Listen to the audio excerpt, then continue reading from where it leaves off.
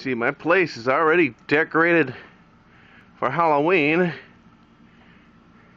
And I didn't have to do anything. I let Mother Nature do it for me. I didn't realize I had this many spider webs in my place, but the frost pretty much highlights them pretty well.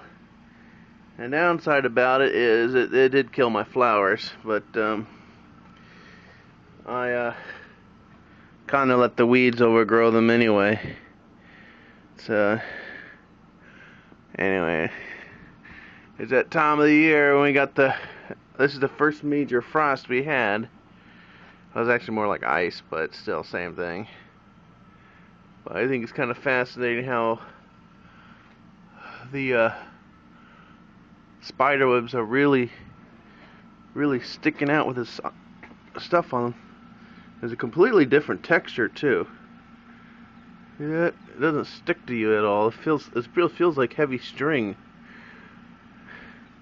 And that's usually one of those feelings you don't like is spider webs. You ever walk through a spider web and it's like gives you that same feeling you get like when you squirt a water gun in your mouth, that kind of weird feeling. Look at that.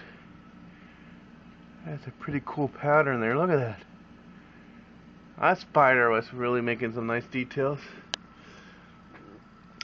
Um, I think that these are webs for wolf spiders. I'm not too sure, but they're like big and like tannish color, and they make more one nest, and they travel between the nests. On occasion, I come out here and I'll see one on them. Obviously, they're not here today. Well, talk to you later, guys.